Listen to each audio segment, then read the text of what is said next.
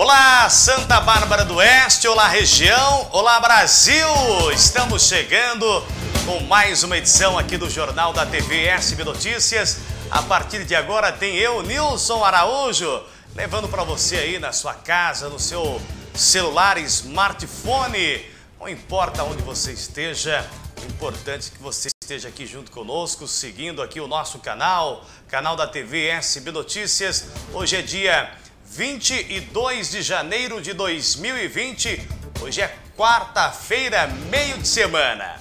Bom, você vai participar aqui junto com o Nilson Araújo, mandando aí as pautas, as sugestões de reportagens para o WhatsApp que já colocamos aí na tela, que é o 997824426.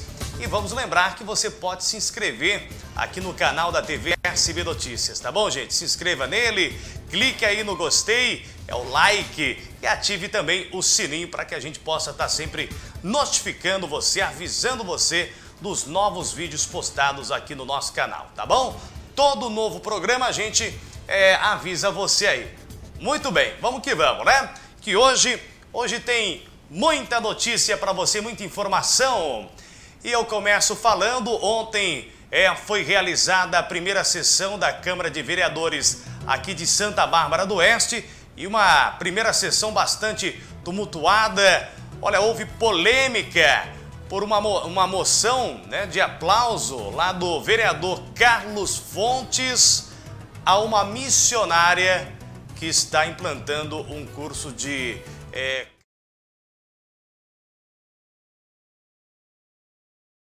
Olha aí, foi uma, uma sessão aí de. É, o pessoal se exaltou um pouco, né? Mas olha só o que aconteceu. O vereador Carlos Fontes, ele fez aí, é, é uma moção né, que ele apresentou a essa missionária. Só que daí o grupo de, da, da capilania hospitalar aqui de Santa Bárbara do Oeste, eles estiveram ontem lá na Câmara Municipal.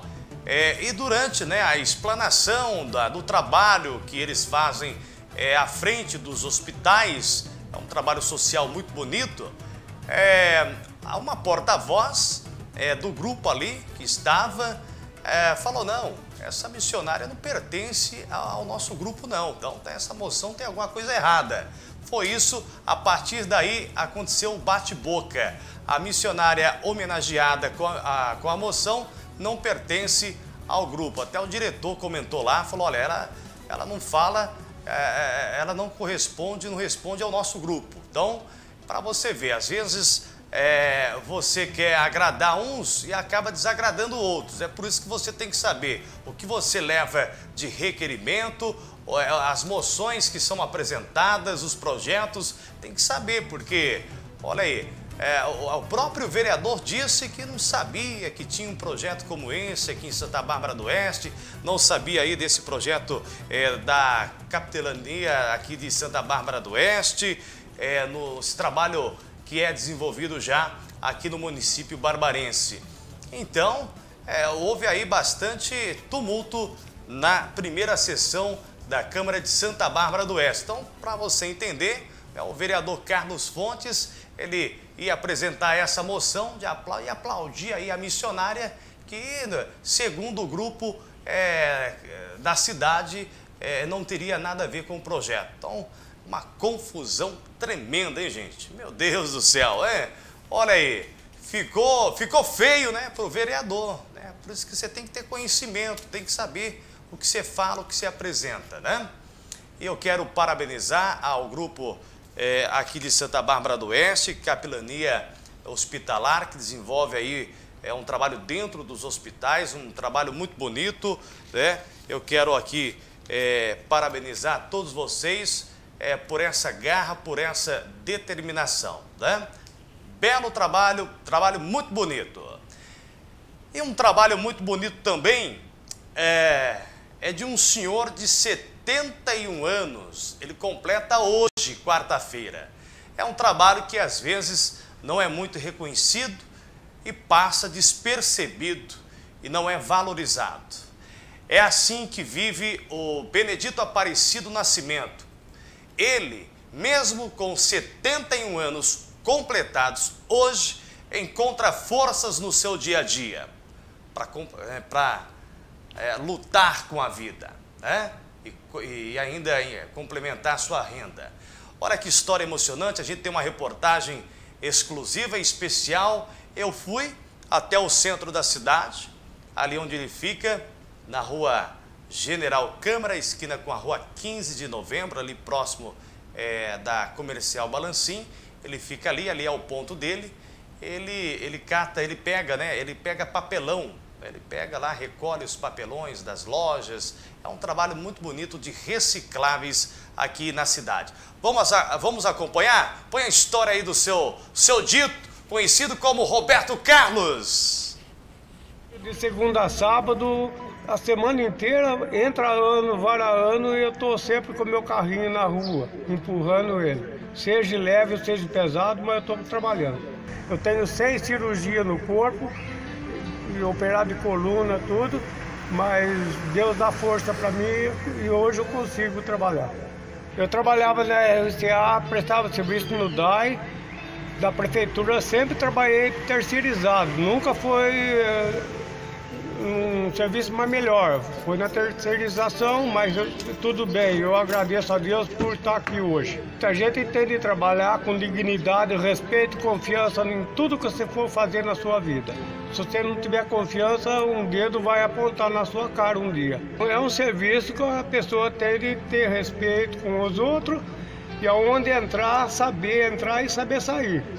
Eu entro em toda loja, graças a Deus, nunca fui barrado por ninguém, porque o meu serviço é digno e respeitoso. Eu trabalho no tempo do, do Arruia, falecido Arruia, seu Augusto, então a gente eh, faz tanto tempo já trabalhando assim. Mas é, é, o, é o que a gente pode fazer, né? O que o senhor tem a dizer é, para essas pessoas, né? que infelizmente não tem conscientização, acabam jogando é, lixo nas ruas, entulhos. O senhor tem, qual é a visão que o senhor tem disso? Porque a coisa mais dura que tem é você tirar da sua casa e jogar na casa do vizinho de lado. Então nunca jogue ter, uh, lixo em terreno baldio, que eu, você está procurando o perigo para você mesmo um dia. Então não faça isso não. Os bichos eles acumulam devido ao lixo. Se não tiver o lixo, não tem o bicho. Então não faça mais isso, gente. O seu Dito tem um pedido que eu sei que ele ele tá desde o Natal, ele quer ganhar uma coisa, é um objeto. É, vamos ver se ele está lembrado. O que, que o senhor pediu pro Araújo aqui? Um rádio, para me ouvir a Rádio Brasil. E o programa do Jairinho.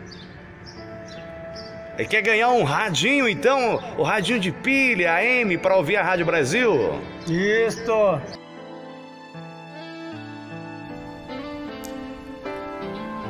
Ei, seu dito! Parabéns por mais um ano de vida, muitas felicidades, muitas realizações, muita saúde para o senhor aí. A gente fica emocionado com uma história como essa. Ai, ai, ai, hein? Eu quero ter essa força, essa garra para chegar. A gente fica emocionado mesmo, né? Para chegar nessa idade com essa disposição, né? E ele quer ganhar um radinho de pilha. Olha o pedido que ele fez, hein? Puxa vida, parabéns, né? Parabéns por esse trabalho de, de recolher é, material reciclável aí na cidade. Ele fica aqui no centro e todo dia ele levanta cedinho, né? Cedinho. É, é uma homenagem, é o nosso presente que a gente pode, poderia estar né, tá, é, te dando, né? Oferecendo é, com uma homenagem como essa, presenteando você, né? Tá bom? Olha, é, o exemplo de vida, né? O seu dito que recolhe os materiais recicláveis, mas veja só, Infelizmente as pessoas não têm consciência, né? É, teve um incêndio, foi na, na madrugada de segunda-feira, um incêndio no ecoponto do Planalto do Sol, dois dias após, veja só, ali no Parque Zabane, do Nova, ali aqui de vídeo, bairro Nova Conquista. Ah, essa área é a área do, do Santa Fé também, né? A área do Santa Fé, na realidade, É o Santa Fé Isabana, ali perto da escola, área do antigo Zumbi dos Palmares. Olha, não pode, gente. Veja só a quantidade de lixo, de entulhos é, que as pessoas jogam ali nas margens, ali próximo a essa escola e agora atearam fogo, atearam fogo. É, é, é, é inacreditável, um absurdo. E não fica tão longe, né? Para você levar ali do, do, do, Jardim Santa Fé esses, esse material, é, esses entulhos, até o ecoponto do Planalto do Sol 2, a distância não é grande. É, não tem se desculpa, né? Olha aí, então a gente pede muita conscientização por parte das pessoas, não façam mais isso. E outra, é, o nosso município, né, Santa Bárbara do Oeste, teria que trabalhar um pouco mais firme aí nas campanhas, nos bairros, é, para tentar conscientizar né, as pessoas. Porque tem gente que tem consciência. E, infelizmente tem gente que não tem. Né?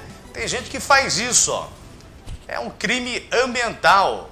Agora você vai fazer denúncia, vai ligar lá para o 153, vai ligar para fiscalização de obras e posturas? Sim, mas é o seguinte, tem que ter aí uma, um projeto para que é, conscientize cada vez mais a população a não fazer esse tipo de descarte, porque havendo descarte como esse, acontece isso. Né? A pessoa acaba a, ateando fogo e prejudicando né? a todo, todo mundo. Os moradores ali ao redor, moradores que não tem nada a ver com isso, né? Acabam pagando o pato. Tá? Apenas é, um momento para você refletir um pouco. Olha, continua é, desaparecido Luiz Henrique, de 31 anos, morador aqui do Jardim Dulce, em Santa Bárbara do Oeste. Ele desapareceu na sexta-feira. Ele estava lá em Bofete, na casa da família, quando retornou no dia 17 para trazer o filho aqui na cidade de Santa Bárbara é, para uma consulta. E ele continua desaparecido. A informação que nós temos aí, que a, aquelas imagens que nós mostramos ontem é, das câmeras de segurança do consultório são imagens antes do desaparecimento dele. Antes do é, essas imagens aí, ó. 11h50 da manhã de sexta-feira, dia 17. Então ele continua desaparecido com essa camiseta e também esse boné preto. A gente pede, é, se alguém tiver algum tipo de informação, entre em contato com a nossa redação. Tem também o telefone do Disque Denúncia 181 ou também direto com a família no 991 758830. Mãe está desesperada, hein, com o desaparecimento do, do Luiz Henrique. O Luiz Henrique é uma pessoa muito querida, né? Pessoal aí é, que eu tive conversando, é, parece que ele tem um outro filho que está com a mãe, é isso? Tá, tá lá em Bofete, é isso? Parece que é essa informação. Ele trouxe um para cá porque tinha ah, tinha consulta, mas parece que um ficou lá. Mas o importante é, pra, é que a gente possa mostrar imagens aqui né, dele é, e, e, que ele possa ser localizado quanto mais antes. A gente tem um veículo também, um veículo, um veículo que ele estava, é, é, se, também não, não, não se tem notícia, né? Não se tem notícia, ele estava com um veículo, o veículo também é, não foi localizado. Vamos mandar aqui um abraço, o pessoal está acompanhando aqui o Jornal da TV SB Notícias, vamos lá? Ontem é, é, eu não mandei abraço, alô para ninguém, né? Mas eu quero agradecer a você que está aqui, ó, a Raquel Silva. Opa, o seu Benedito, sonho, é guerreiro. Ah, falando da, da história aí do seu Benedito, né? Ah, sim, a Adriana aqui também, bom dia, Daiane Godoy. É... Vamos ver aqui. Ah, ah, tá, legal. Tá, um abraço para vocês aí, tá bom? A Daiane, a Suzy, o Nilson Araújo, um forte abraço. Suzy, um abraço para você também, tá? O Luiz Nicolau, a Sônia Rodrigues, Rosilene Adão, a Aliete Santos da Silva. Um bom dia para todos vocês que acompanham aqui o portal SB Notícias, o nosso jornal diariamente, tá bom? Legal? Então, tô indo embora. Amanhã a gente volta, se Deus quiser, com mais uma edição. Lembre-se, tem reportagem, pode mandar pra gente. A gente vai se programando pra gente tentar ajudar você. Põe um WhatsApp aí, é o 9978244 26. Esse é o canal, é o Zap Zap do Araújo aqui, ó, e também do Jornal da TV SB Notícias. Lembre-se, mexeu com você, mexeu comigo. Aqui a gente está sempre do lado do povo, hein? defendendo os direitos do cidadão barbarense. Tchau, pessoal!